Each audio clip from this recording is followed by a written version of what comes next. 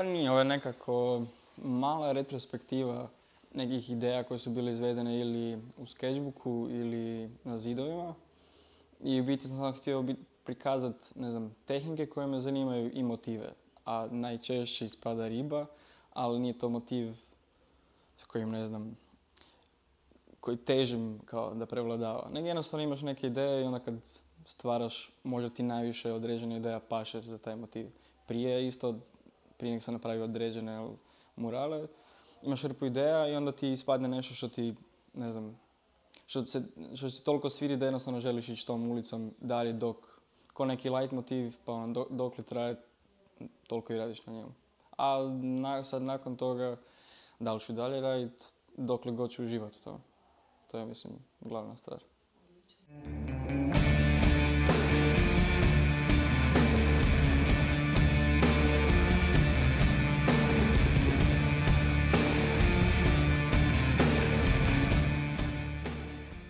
Neki to nazivaju hiperrealizam, to, ako je to hiperrealizam, to je loš hiperrealizam.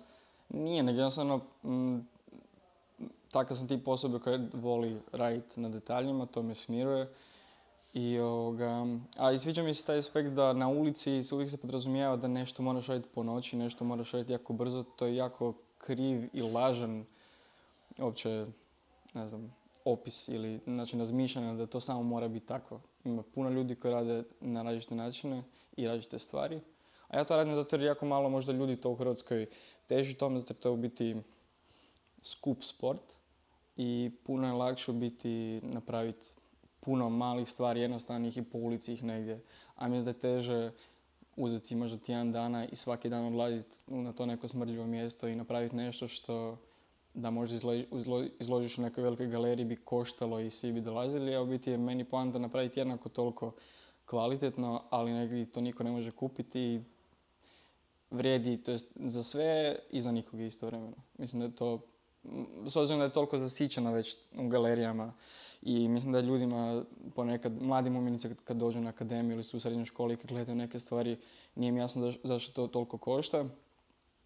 A u biti razmišljao samo da je najvažnija stvar u kreativnosti da uživaš u procesu, a mislim da se što smo stariji umjenosti ako želi neko opsad, onda prestane uživati u tome i radi od toga nekakav biznis i stvara se neka politika i onda te pitaju na ulici, a zašto si daješ toliko truda? Pa mi je za to prva i osnovna stvar zašto se nečim baviš, da pokažeš da jednostavno uživaš u tome i mislim da je to nešto što je meni isprije, zato jer bilo je prije deset godina možda umjetnika koji su više radili na ulici, ali naravno je generacija koja je sad puno starija i koja se ne može s tim baviti.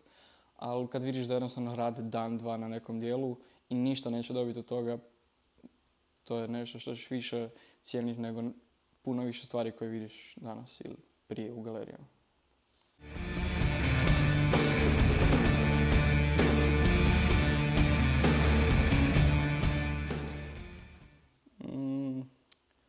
Pa ne znam, biti radim, tražim mjesta gdje najmanje se očekuje da će nešto biti napravljeno, jer,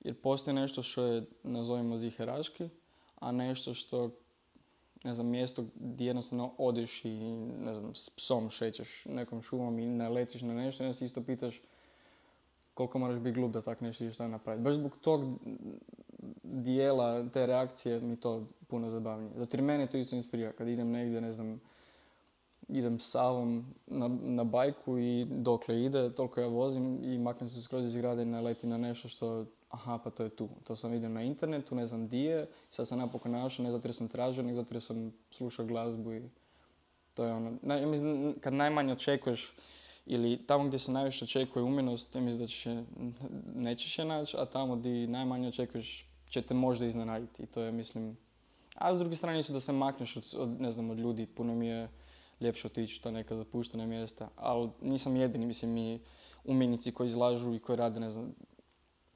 slikaju na platnu se istom, sličnom problematikom bavi, mislim, svi su u nekom tom izgubljenim prostorima, mislim da je to takva atmosfera trenutno, samo što ja možda na drugačiji način to radim, ali slično je kod svih možda ljudi trenutno to.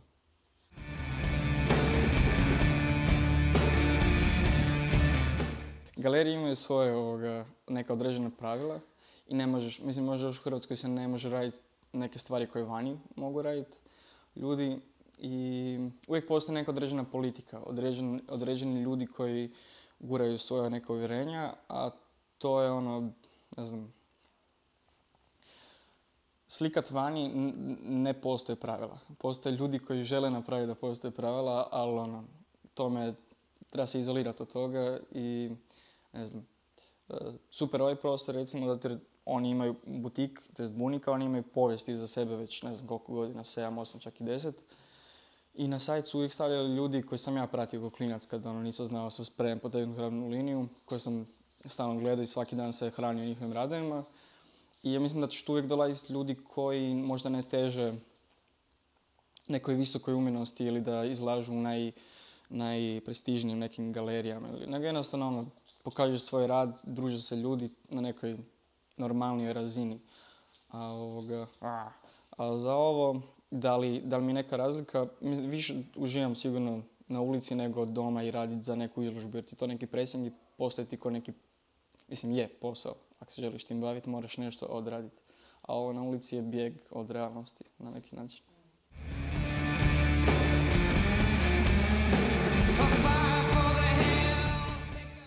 Mislim, ovo što je bilo prije deset godina, to je neka povijest koja, čiji početak i kraj sad znam.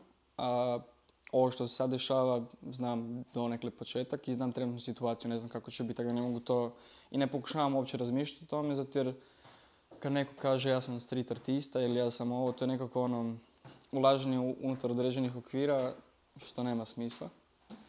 Um, pa je, mislim, to se je nekak populariziralo, ali više zbog stranih nekih umjetnika, to može biti loše i dobro, jer utječe na, ne znam, možda mlađi ljudi, ali tak nije, mislim, to i u, i u sportu i mlađi ljudi možda krivo percipiraju određene stvari, imaju krive vrijednosti za nešto, pa iz krivih razloga ulaze u to, ali, mislim, kad i tad će se pokazati u biti koliko se to isplatilo, ako se uopće isplati, ali... Um, mislim da ima umjetnika, ali jako je malo onih koji samo inicijativno idu raditi nešto i to je problem. Znači jedno je kad imaš organizaciju koji za sebe imaju sponzore, a svi se pozivaju na umjetnike svjetske najpoznatije koji rade čisto ilegalno i onda to stavljaju isti koš kao i velike organizirane događaje, što je užasno kontradiktorno.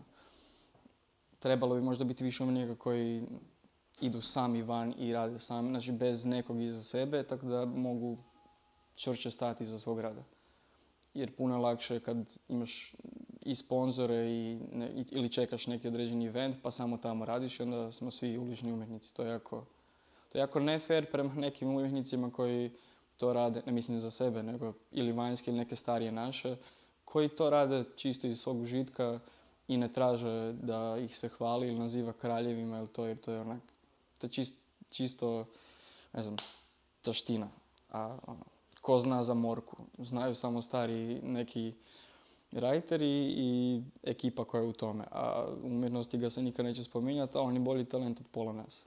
I niko neće znati za njega, zato jer njega očito to ne zanima da bude slavan, šta god to, da to znači.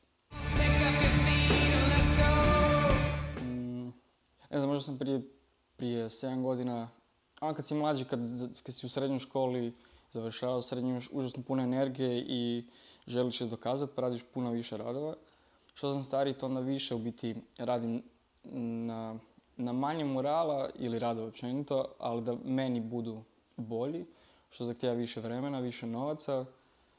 I onda kad ga neko prišara, ono, ako vani radiš, nema si ko pravo ljutice ili nešto, to je jednostavno takav zakon gdje u biti nema pravila.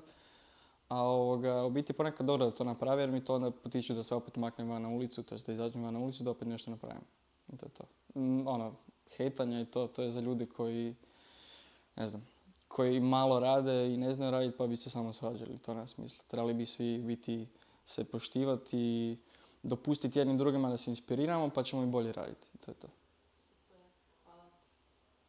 Hvala.